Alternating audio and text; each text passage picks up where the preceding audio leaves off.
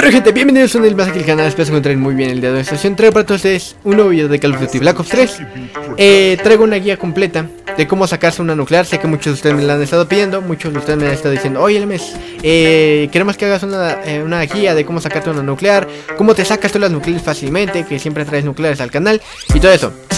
Bueno, primeramente decirles que esta es una guía un poquito sencilla, ¿no? Porque no hay tanta complejidad, no hay, no hay tanto misterio en sacarse una nuclear. Si es complejo, la verdad es complejo sacarse una racha de 30 en una nuclear. Eh, pero hay muchas cosas que influyen hay muchas cosas que tú puedes ir tomando y puedes y te puedo ir aconsejando, ¿no? Unas cosas que yo siempre aplico eh, y te puedo decir que las apliques, no las pongas en práctica más que nada. Primeramente también eh, hay cosas que eso ya no depende de mis consejos, eso ya depende de la partida y de la suerte que tengas dentro de esa partida. ¿A qué voy con esto? Pues bueno. Eh, a la suerte de que vayas con la partida es que tomes buenas decisiones, no tomes malos consejos, a lo mejor no te vaya mal la partida o, tengas muchos errores dentro de esta partida y esto te lleva a que no te la saques, ¿no? Sobre todo pues los errores todos los cometemos nadie es perfecto, entonces hay muchos errores que puede tarde o temprano podemos cometer. A lo mejor falla alguna fight muy sencilla, a lo mejor meternos mucho al respawn, equivocarnos un poquito en alguna situación, etcétera, etcétera. No, que nos maten con una escopeta cruzando una esquina o un, sitio, no, que nos encontramos un campero y nos termine matando. Entonces son muchas cosas que eso ya influye mucho de la partida. También depende mucho de la lobby en la que estés. Por ejemplo, no te vas a sacar una nuclear o va a ser un poquito más complicado. No, digo que no te lo vas a sacar, posiblemente qué tal si te la sacas, ¿no? Pero también influye mucho en los enemigos. Esto con, con qué me refiero también que tampoco no, te va a costar más trabajo si te encuentras en una parte donde hay enemigos muy buenos. Eh, es algo que les recomiendo muchísimo, que si a lo mejor es tu primer nuclear o algo así, que te enfoques un poquito más en ver eh, que haya enemigos pues no tan malos pero tampoco tan buenos. O sea, que tú veas regulares, enemigos regulares y con eso eh, tienes más que suficiente, ¿no? el simple hecho, eh, a pesar de que haya enemigos buenos o malos, lo que importa aquí es cómo manejas la partida, ¿no? Dentro de la partida también influye mucho de tus compañeros, de que no estén sacando rachas, que no estén muriendo a cada rato, porque eso también puede perjudicarte a ti, ¿no? Como, como equipo, te puede perjudicar muchísimo en el sentido de que a lo mejor eh, tú estés en tu racha, enfocado en tu racha, concentrado en eso, y de repente escuchas un hater que le han sacado a tus compañeros, ¿no? Y tú dices, oh, o sea les, yo estoy en racha y le sacan un hater, entonces es algo complicado.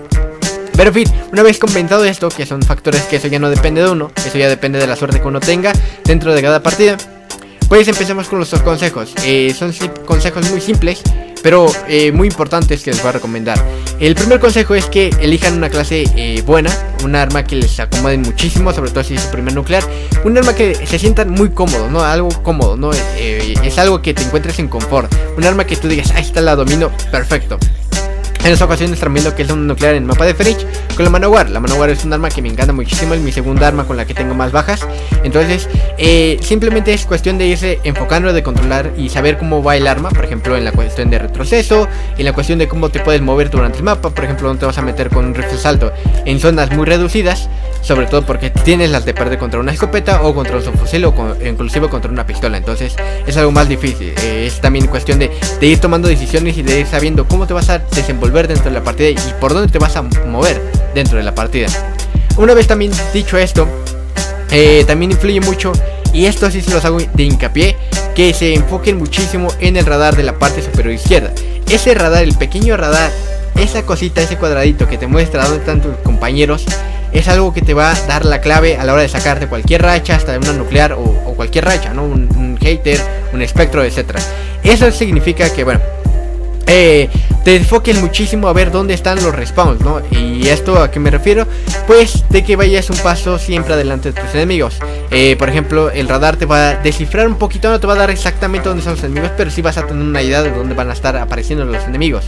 Eh, siempre enfocarte y ver dónde están tus aliados para saber por dónde te van a estar reapareciendo. También aprender un poquito de memoria, los respawns. Esto es más que nada eh, ir memorizando, ir jugando, ir jugando a, ver dónde salen los enemigos, dónde salen los respawns del mapa. Y una vez sabiendo esto, pues puedes decir, ah, si están aquí mis aliados y toda esta, mapa, esta parte del mapa la estamos controlando bien, pues sé que en esta zona van a estar saliendo los enemigos. Y un, claro ejemplo es, verán que ahorita mismo yo estoy aquí en esta parte del granero y me he quedado aquí porque sé que los enemigos van a empezar a salir aquí en C.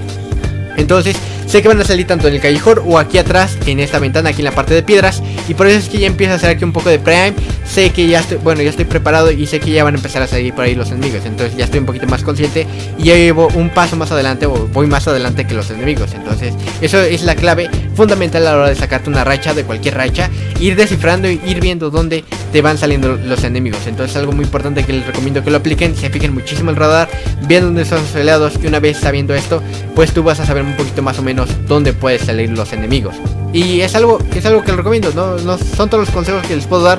No hay gran misterio, no hay otro consejo, no hay una clave eh, clave, una, un consejo clave a la hora de decirles, no, pues tienen que hacer esto para sacarse una nuclear. Simplemente si la quieren sacar solo es un poquito más complicado, pero con amigos eh, que se pongan rachas de ayuda es más sencillo, ¿no? Porque puedes irlos viendo con el baby, con el hater que cada quien se vaya sacando y todo eso. Entonces son cosas que tú vas a elegir, ¿no? Si la quieres sacar con tus amigos o la quieres sacar en solo. Es simplemente los mismos consejos, pero en solo les, digo que es un poquito más complejo y más difícil.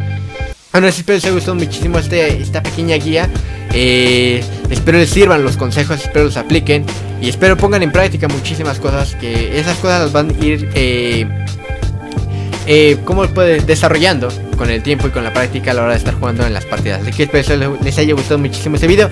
Nos vemos en un próximo video, no olviden su like, suscribirse al canal para más contenido como este y nos vemos en un próximo video. Cuídense y bye bye.